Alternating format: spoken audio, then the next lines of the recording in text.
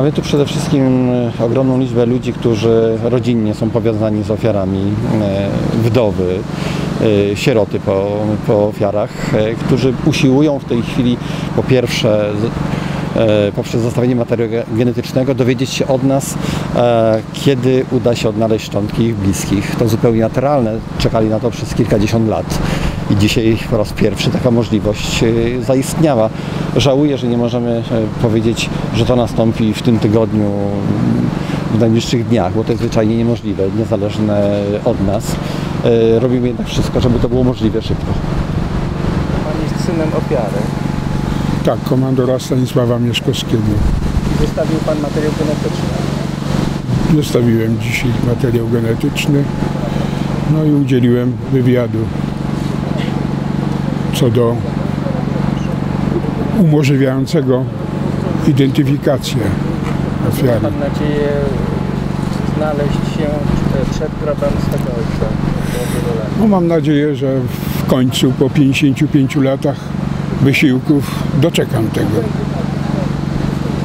A skąd pan, widział pan wcześniej, że tutaj może być pana ojciec? Tak. Skąd? Protokół Kosztylki znany jest od przynajmniej 22 lat.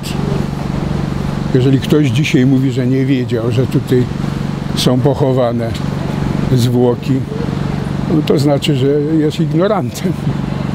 Oczywiście stało się to wszystko, czy to, co się staje w tej chwili, staje się bardzo późno, żeby nie powiedzieć za późno.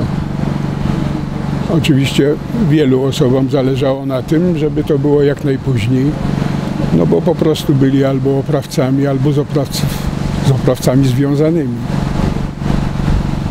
To, że to dopiero w tej chwili jest, y, to znaczy, że w końcu może coś się w tym kraju zacznie dziać.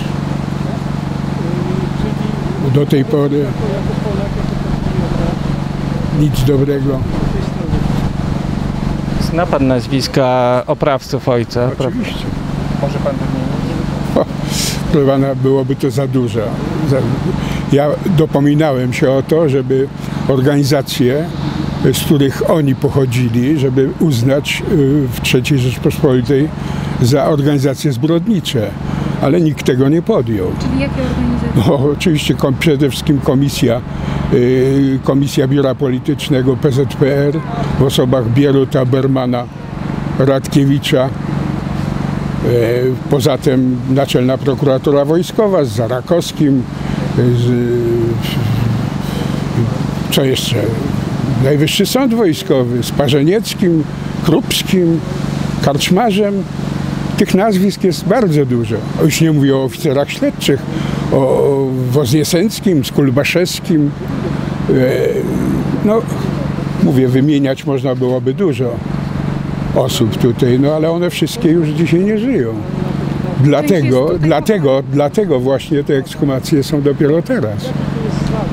Wtedy, kiedyśmy wystąpili o te ekshumacje, to był rok 56, to oczywiście nikt tych ekshumacji wtedy nie podjął. Nie podjęli również e, tego e, e, Ministerstwo Sprawiedliwości i Komisja Badania Zbrodni przeciwko narodowi, polskiemu w latach 90. Dlaczego? Jak pan myśli? Co znaczy dlaczego?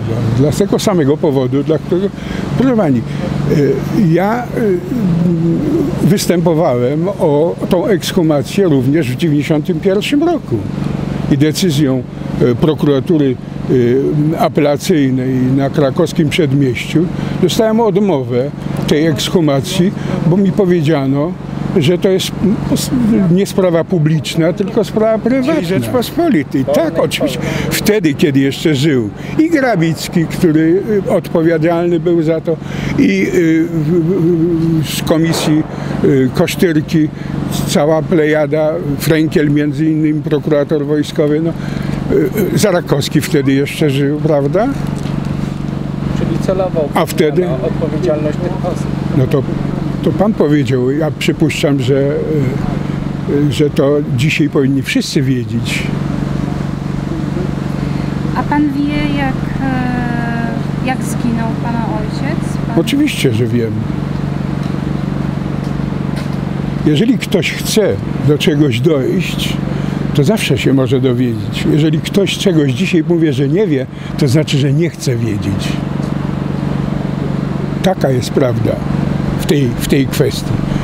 Oczywiście ojca zamordowano strzałem w tył głowy, mimo że papiery, które dostaliśmy, było napisane, że pluton egzekucyjny, nawet nazwisko padło tam y, dowódcy plutonu egzekucyjnego. Do- Nazwisko nawet tam jest. Lekarza, który przy tym był. Prokuratora, który przy tym był. To wszystko jedna wielka fikcja. Ich wszystkich brali do bunkra i strzelali w tył głowy. Albo jeszcze gorzej. Przecież tutaj znalazł profesor Szwagrzyk y, y, czaszki, które były, by miały cztery przestrzeliny y, z góry głowy. Taka czaszka tutaj jest. Czyli z broni maszynowej i do człowieka leżącego. Dobijano. Tak. Mordowano. Metoda katyńska to była tutaj standard. No bo to byli ci sami ludzie, no, tak samo szkoleni. No tutaj, tutaj nie, nie tylko byli ludzie, którzy stamtąd przyjechali, tu byli również i y, niestety nasi rodacy, całkowicie y, podporządkowani tej władzy. Szkoleni, oni nawet byli bardzo często nie byli szkoleni. Oni tylko było, byli usiłowano y, zrobić z nich nowego człowieka, prawda? Nowego człowieka. Filozofia komunistów, czekistów, prawda? Nowy człowiek nie musiał być specjalnie szkolony, to później szkolili. Ci młodzi ludzie, którzy ostatnio w procesie stawali tutaj, którzy byli wtedy dwudziestolatkami, to oni kończyli tylko Szkołę Informacji Wojskowej w Łodzi w latach tam 40. No co to za szkolenie? Oni nawet matur nie mieli. a ostatni, ostatni, ostatni obraz ojca, który pan zapamiętał. Ojciec wyszedł rano 20 października 50 roku z psem na spacer i z tego spaceru nie wrócił. Wrócił po paru godzinach zziajany pies, a ojca terrorystycznie aresztowano. Ja dzisiaj oczywiście wiem, kto aresztował ojca i kto podpisał y, protokół, y, y, czy, czy kto podpisał nakaz aresztowania. No ale co z tego? Podpisał Zarakowski, naczelny prokurator wojskowy, a aresztował, aresztował Niedzielin, Eugeniusz Niedzielin, oprawca z informacji wojskowej nr 8 z Gdyni. A kto wyrok podpisał? Wyrok podpisał. No najpierw podpisał Parzeniecki oczywiście, bo, to, bo on był y, tym y, głównym y, w tym procesie przewodniczącym sądu. A później oczywiście podpisał Świątkowski. Świątkowski, Wilhelm Świątkowski, prawnik sowiecki. A później jeszcze w dodatku podpisał Bierut, y, że nie skorzysta z prawa łaski. Ten papier też dzisiaj mam, bo z Instytutu Pamięci Narodowej y, taki papier dostałem. Zażądałem takiego papieru i taki papier w oryginale dostałem. Znaczy w, w światokopii oczywiście. A wiadomo, kto wykonywał wyrok? Nie. Nie, najprawdopodobniej jakiś tam no, plotki chodziły, że to był raz ten, raz tamten. Chodziło nazwisko jakiegoś Szymańskiego, ale nie wiem kto dokładnie. Przecież ten, który raz y, y, strzelał, też prawdopodobnie nie wiedział do kogo strzela. Ten, który chował tutaj, akurat znam nazwisko tego, który chował tutaj. Y, Toś, to, to, to był Turczyński się nazywał. No, Ale czy on wiedział, kogo chował?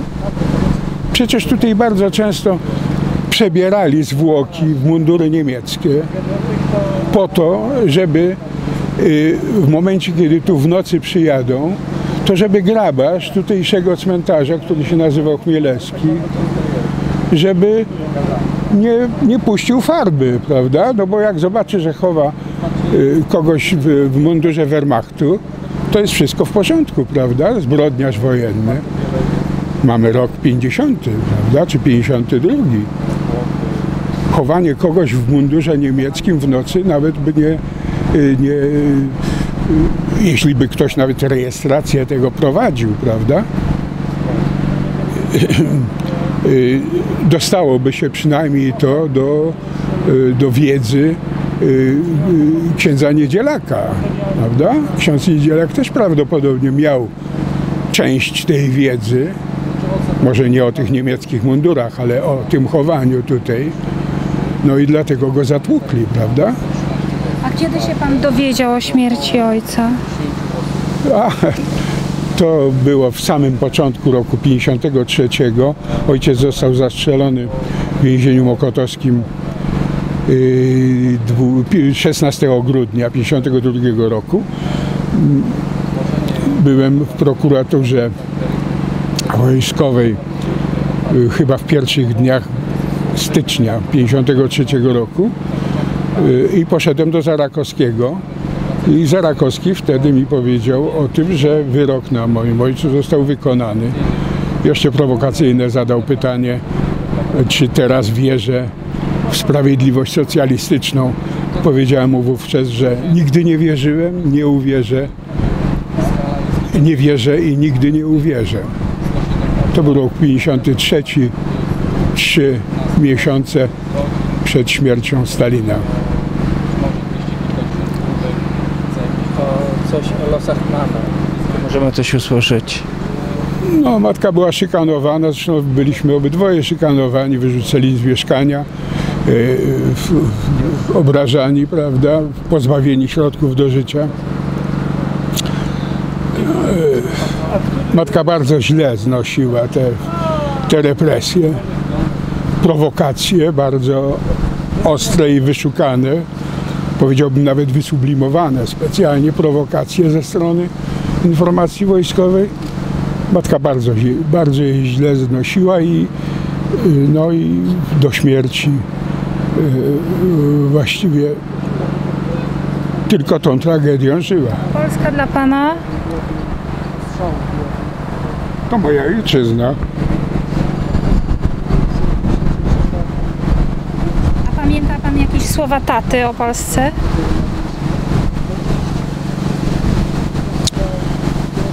Myślę, że on ją rozumiał również, szczególnie, że w czasie rewolucji bolszewickiej był w Rosji.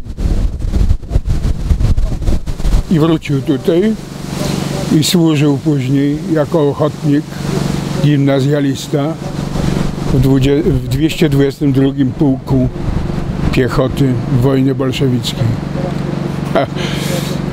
Nie walczył z bolszewikami jako piętnastolatek, tylko usiłował odbić zabraną nam przez Czechów wtedy e, e, Zaolzie.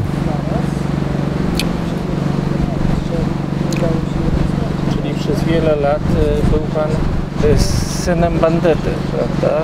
I był y, pan traktowany w ten sposób. Ja myślę, że tak to nikt nigdy nie myślał, jeśli mówimy o myśleniu, prawda? Bo ja myślę, że również ci, y, którzy pastwili się nad ojcem, też doskonale wiedzieli, że nie jest on bandytą.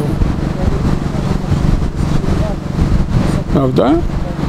Przypuszczam, że nikt nie, nie potrafiłby dzisiaj, jeżeli by żył, takim epitetem